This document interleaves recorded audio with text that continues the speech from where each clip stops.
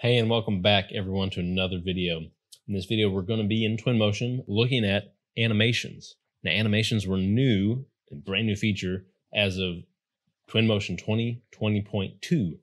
And that we have the option of making our own custom animations. It's really great. There's a lot that we can do with this. And I'm going to show you the basics of how to do it so you can apply animations all on your own.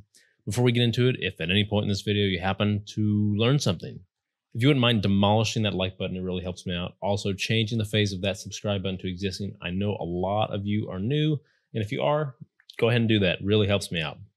To get into it now. As of 2020.2 Twinmotion, we have custom animations, and we can find those in the pull-out menu here, Tools, and Animators. And under our animators, we have the option of looking at rotators or translators. Obviously, rotating rotates, translator moves in a straight line in various directions. Let's start with translators because it makes a little more sense. There are some examples here. We have a sliding door, and this is just a door that's just going to open up all on its own. Once we get close enough, the door will open, it'll translate open. There's another example of an industrial gate, which is for a car entering an area or something like this. You enter this area and the gate translates open. Perfect, easy enough.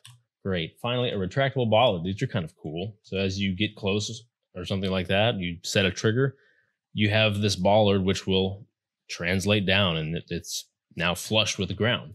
That's great. And you pull up, pull back and then it retracts. Great. So those three are considered examples. And in, in that sense, they're not custom. But what is custom is this translator. So I've got this translator tool right there. I'm just going to drop it in. And immediately you'll see there's nothing there except the little icon. And even if I have come over to our scene, I just see translator. Okay. All right. So click on that translator, and then we have all these options to work with. We've got a play option, a distance option, animation, speed, and a trigger. Okay. Looking at this now, nothing's happening. It's just a line. And I've got play is on and nothing's happening. Well, we actually need to add an object to this translator to make it animate. In other words, we're going to bind or link or however you want to call it an object to this translator and it will acquire the all the settings of this translator and then animate. That makes sense. So here at the top bar, we see we've got object link. So we can literally, like I said, link an object to this translator. We can unlink an object and then we can pivot edit. And this is just basically saying where is this translation happening? So if you picture this object as kind of the the master animator we're going to put in an object and we're going to associate that to this master animator and it's going to acquire the settings and then we can start to do whatever we want with that object. So what are we going to what object we're going to use? It honestly doesn't matter. Really anything out of twinmotion is going to work but Mm, which one do we want to? Let's go with like a phantom bathtub. That seems kind of great. So let's go ahead and just place a bathtub here. And we want to start to animate this bathtub to bring it to life as if it were possessed. So at this point, I all I need to do is click on this translator. Then I go click on object link, and then I have this target looking icon as my mouse, and I can just click my object.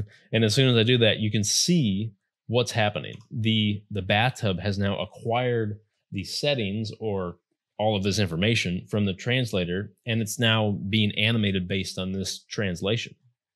Really cool. And you can kind of get an idea of what I mean by master and uh, is because we have this object here, this translator that's serving as the master of this translation. And I say that because if I go to pivot edit and I move this pivot, move this master translator, however you want to call it, it's not going to have any effect on the translation going on because the translation is going to impact the object that I've selected at that object. Okay, so that all makes sense. Let's start to look at some of these different settings. Now I've got play on.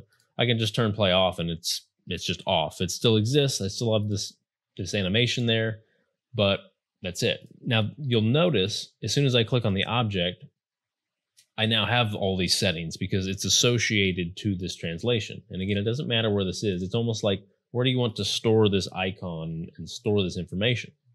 Next, we've got distance. And this distance is purely the distance of the animation.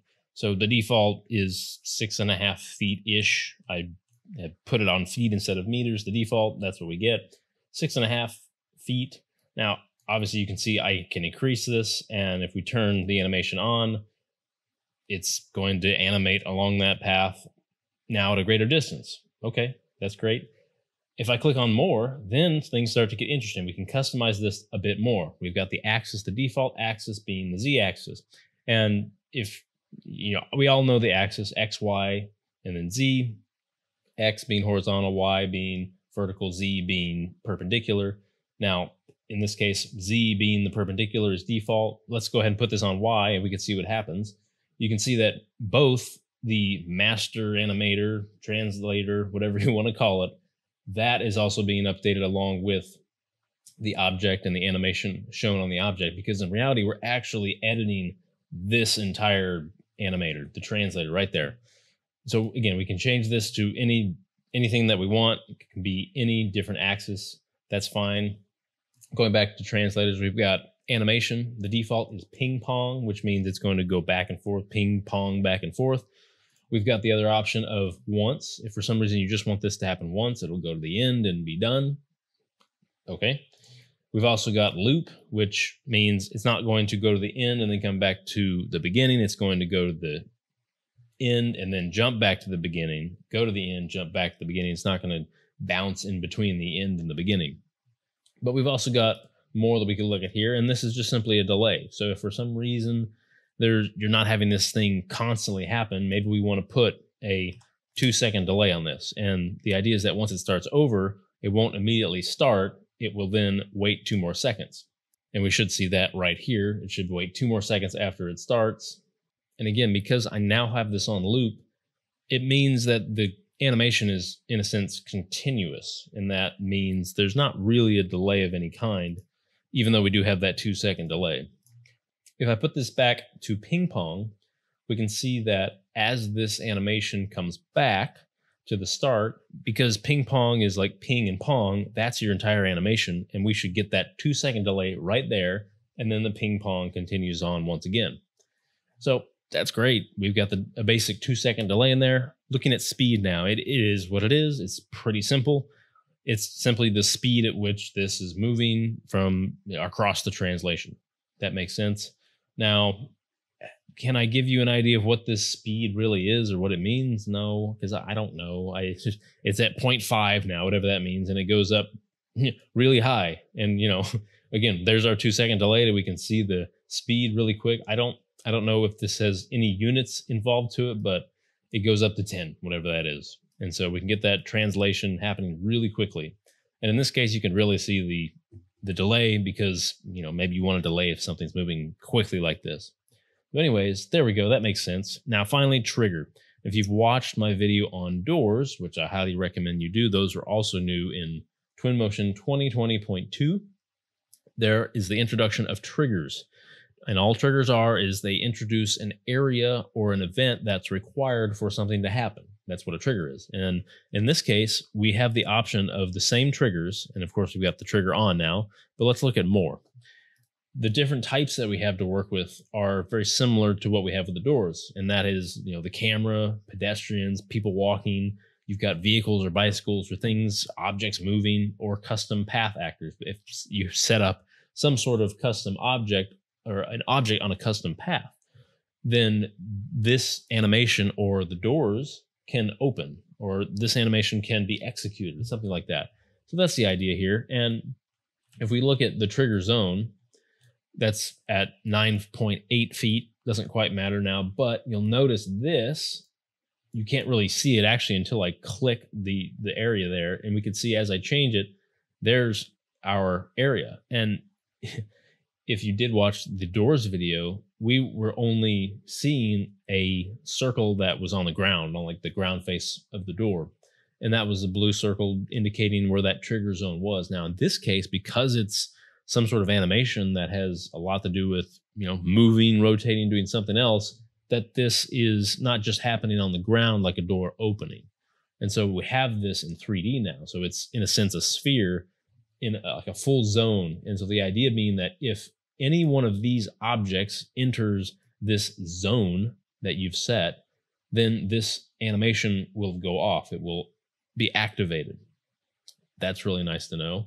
I wish, honestly, we could see this like we can the door trigger, but you know, whatever. I'm not complaining all that much. But this is this is really where the pivot edit comes into play because if I click on this and I put the trigger zone kind of down here, just smaller, and then I go back to just my translators and make sure this is on, the animator's on, then nothing will happen until the camera or any one of those other possibilities that might trigger this event go into this zone. And so I'm going to enter this zone here in just a second, and there we go. We can see that this starts happening.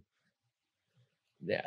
So now we can start to see what the point of this pivot location really is. And that's simply because the object itself is gaining this translation and it's gaining the translation regardless of where it is. But that trigger zone is looking specifically at where this translator is. And so in this case, I'd probably want it to be very close to, if not similar locations to where this object is. Now, you know, maybe you want this object to be here at the end of the translation. Maybe you want it to be there, like really where it starts. Maybe you want it here. And so like as someone walks up to the bathtub, it starts running away from them, you know, something like that. It it it can really be wherever you want, but the idea is that we have this trigger that is set to be based on this location of the translator itself. And of course, we need to have it on so it works. But we put that zone here, and if we move into this area, then we can see the bathtub move.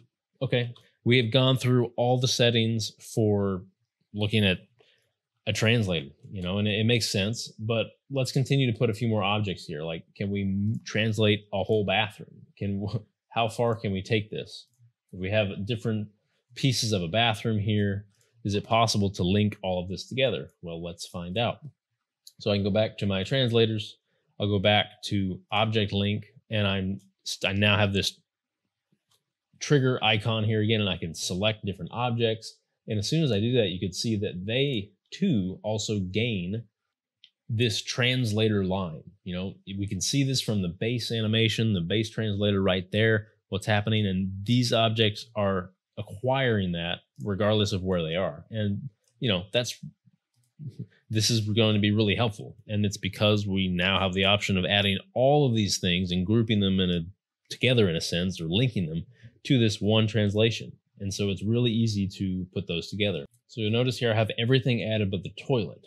And in this case, I want to show you over here, looking at our scene graph, what we have. We've got our translator. And this is really nice because as soon as I add any object to a translator, it becomes part of this nest, if you will. It's like under this folder of translator, the name translator. You can rename this to whatever you want, but without anything here, without any object linked into the translation, it would just be standalone at the bottom as translator, translator one, two, whatever. But now that we have objects linked into it, we see them falling underneath, and that's that's great. And we can see that really simply. It's nice that it's oriented this way and organized this way for us. We have a little icon that tells us what's happening too. It's that's nice. But I specifically left the toilet out to show you what you can do. You actually have control over what's in this translation without having to bind it. Like you don't have to actually add this link by clicking object link and then clicking the object. You can simply drag this toilet, which is not a part of this animation. You can drag this into the translation. And as soon as I do that, you can see that this translation is populated along with all the other objects in the same way, in the same manner. That's great. So you can see them organized that way. And now my guess is if I click on any of these objects, I can start to see, yeah, they're all linked together because look, they're all linked together here. And I'm in a sense just clicking on the translator. And so, you know, as soon as I turn play on and that I enter this trigger area, which I believe is still over here, then this entire bathroom, in a sense, will begin to translate based on these settings. So it's not only a way of translating and animating, and it's also organizing things for you, which is really nice.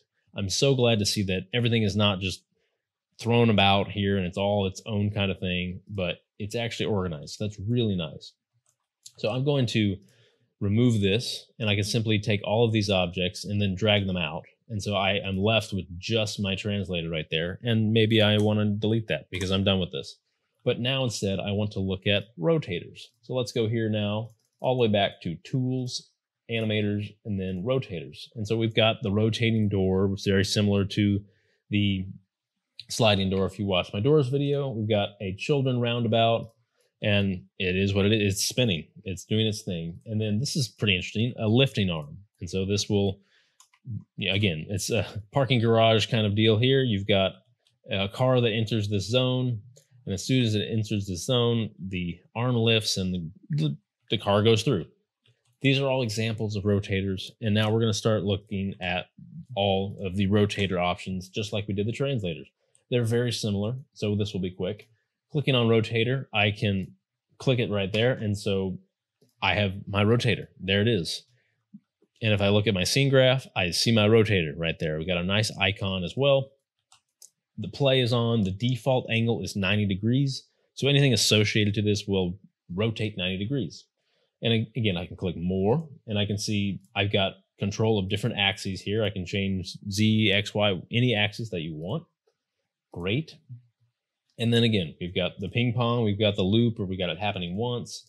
If I click on more, we've got a delay, very similar settings here. Again, the speed, the trigger, and then the trigger type and trigger zone. It's all, in a sense, it's all the same. It's the only thing that's changing is the fact that we have an angle instead of a distance. And that's really it. And but besides that, you're determining the axis, which you also determine on the translators as well. So let's start to add some of these objects. So I can go to bind and I can click on this object and I can click on that one and I'm actually clicking on the scene graph ground. So let's unlink that one because that seems a bit ridiculous. We can click on this sink there. And so these objects are rotating together. And now I can start to change the angle and this is going to translate and rotate more.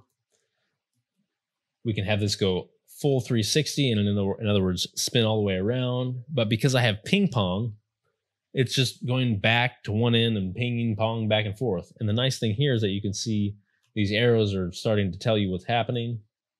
I can change this to loop. And as soon as I do that, then we have our full circle. This is similar to the carousel example. It's just spinning round and round.